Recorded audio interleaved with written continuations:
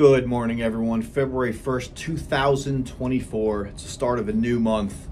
Wild day yesterday. FOMC came out at 2 o'clock. Jay Powell basically said uh, we're not uh, looking at dropping interest rates next time around in March, kind of pushing things off. We know this is going to happen this year, um, but uh, the fact that they are pushing it off another month soften up the market a little bit. The market's absorbing that as the news comes in because you know once those interest rates come down and money gets cheap again market's going to run wild. So it seems to me in my opinion that the fed is going to time this perfectly for the election and they are pushing it off a little bit because the market came out so strong this year that there's no reason to let it explode now. It's better off to let it kind of flatten out now. However I don't think this little dip that we caught yesterday is going to be long lasted by any means. It really wasn't that big of a dip, really wasn't that strong. And today we've got some big earnings coming out Meta, Apple,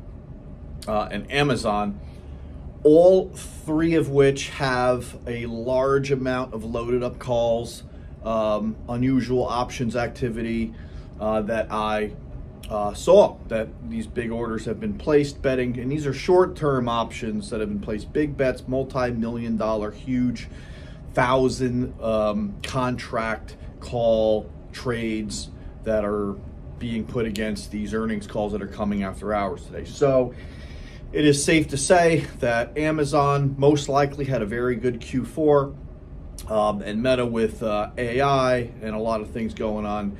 Uh, it appears that everything is very positive. We'll see how the market reacts to that today.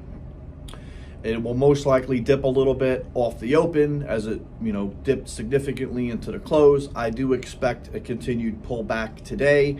However, I do think that in the afternoon the market will start to rally back, and I do think that these stocks, Amazon, Meta, and Apple, are going to do well on earnings. I anticipate good guidance. I anticipate uh, beats on their earnings uh, per share.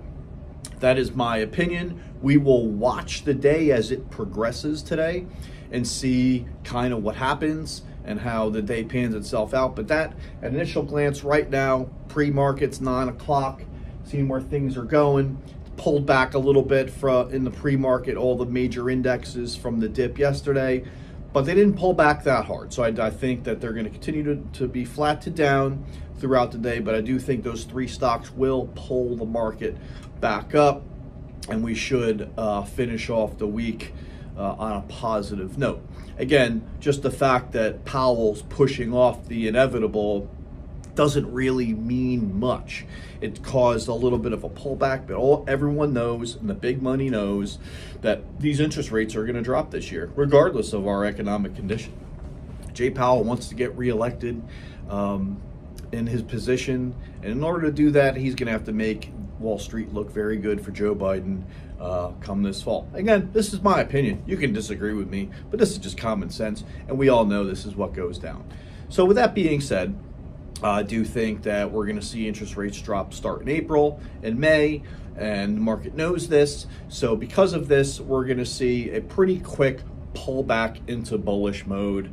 Um, again, it might be down a little bit right now, but the institutions are going to look at it as a buying opportunity. Everyone's going to look at this as a buying opportunity. So, it's going to be very short lived. So, any positions you guys are in right now, feel safe, especially if you're in calls. Market's going to pull back. There's no doubt about it.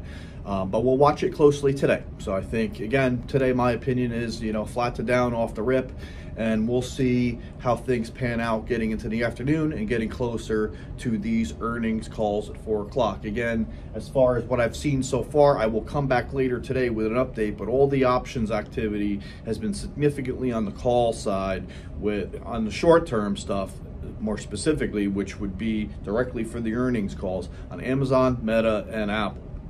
So that's what I've seen so far. I will check the activity today. I'll come back with an update because I will be making some decisions myself later today and we will see what happens. But anyway, good luck today. If you have any questions, always drop it in the comments. I'm here to help for free. This is a free channel and I just want to help everyone succeed. So good luck, everyone. Thanks for tuning in. Like and subscribe. We'll see you later.